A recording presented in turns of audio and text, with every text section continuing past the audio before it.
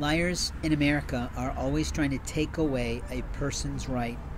A liar in America can convince himself that they have the right to take someone's clothes out of their baggage while someone is sleeping and alter the clothing so it doesn't fit right. A liar in America will take a military man's jacket, like I inherited from my father, not realizing that they violated federal law to steal that coat, that old time military emblem, that old time military heirloom, and use it for themselves.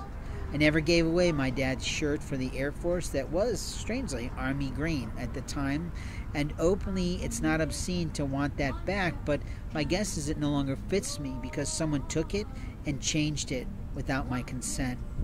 You see, consent today is really important in every way. And in my lifetime, dealing with women in particular, I don't proceed in anything in business or pleasure without the consent of that individual, regardless of their gender.